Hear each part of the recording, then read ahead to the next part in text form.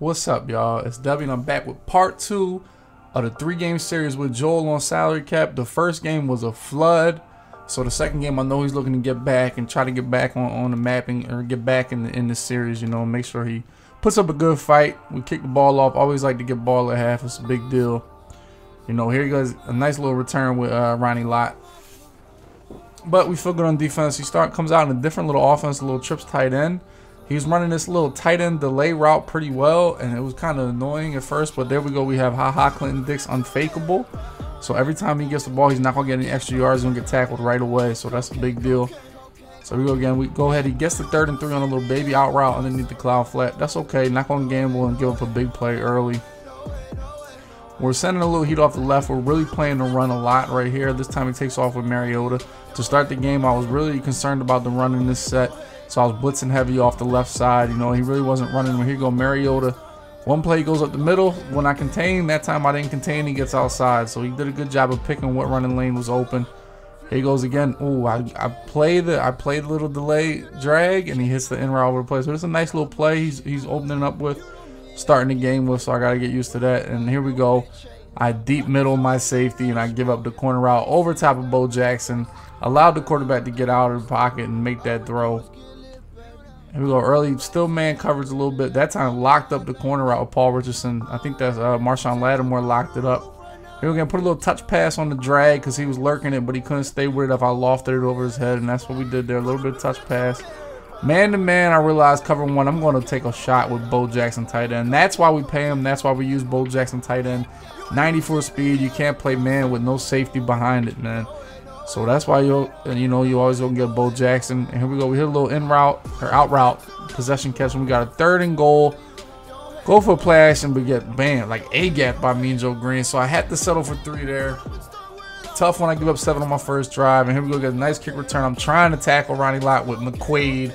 That's never a good idea. And he gets around the edge and gets to the 46, almost the 50 yard line, or past the 50 yard line. That's not good to give up something like that. Here goes with this little this little delay drag to his tight end. Got a big hit on him right there.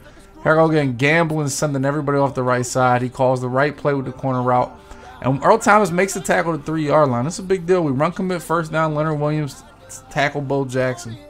Here we go again. We run commit again, and we tackle Bo Jackson again with the four-yard line. Now, he knows huddles now here I don't run commit. I'm not going to run commit because I feel like my base defense will stop it for less than four yards and make him kick a field goal.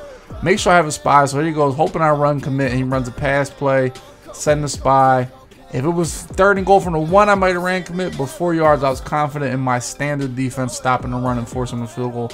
So that was a big deal, making sure he didn't get seven there. So I'm still within one score, 10 to 3.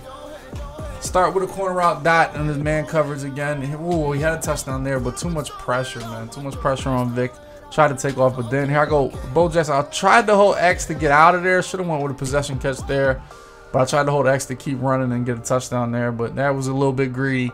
Get to a third and nine. Here he goes ahead runs man coverage again. I have Le'Veon Bell on the little in route. There we go. Loft the ball up and make that big play on third and nine to get a first down.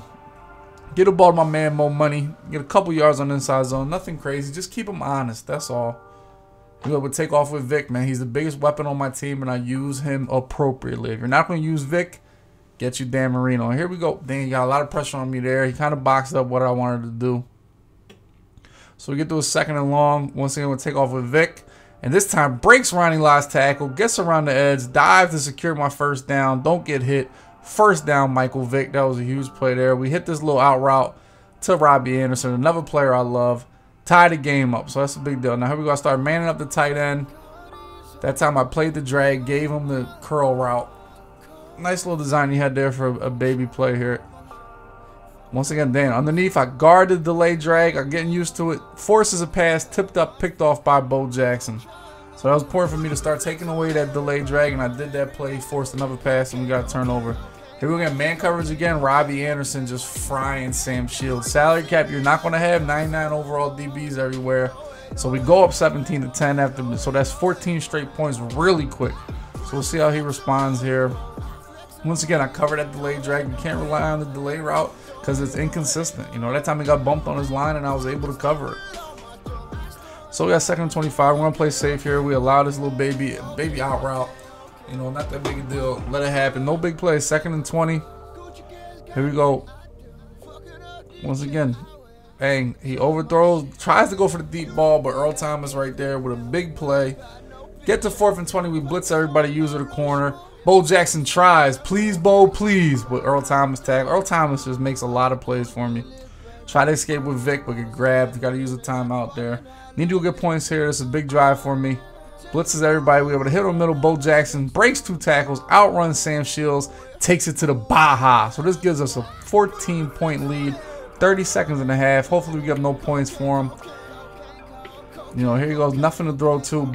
There's that boy, Joey Bosa, eating. Once again, just give up no big plays. He tries to force a corner out and ha! Clinton Dix makes a play. Get it in the field goal range. Make sure I go up three possessions if I get a field goal. So we're in field goal range.